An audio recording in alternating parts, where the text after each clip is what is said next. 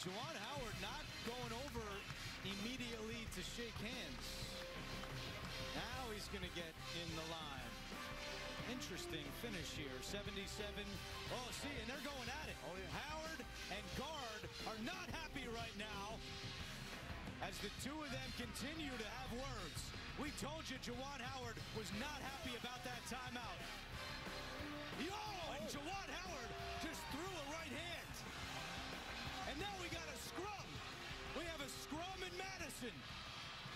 Players are pushing and shoving. This is an ugly scene. This is an ugly scene. Oh my God.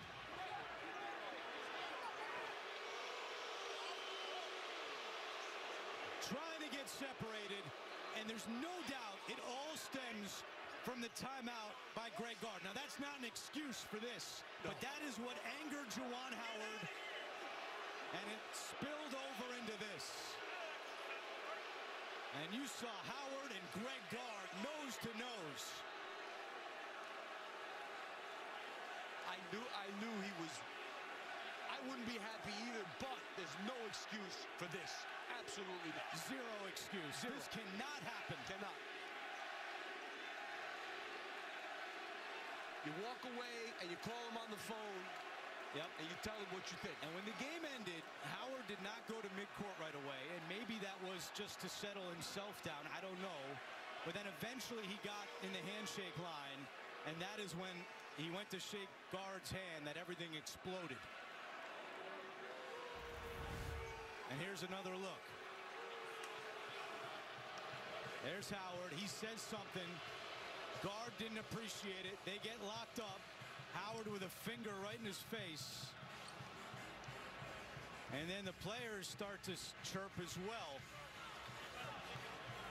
And that's where Howard grabbed one of the Wisconsin assistants, Joe Krabbenhoft, former Wisconsin player, and it spilled out into this. Juwan Howard's Juwan Howard's gonna have a problem.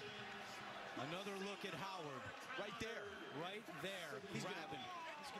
Yeah, He's gonna have a problem. yes. That's a suspension. That's a suspension. There's no question. That's a suspension. That's bad stuff.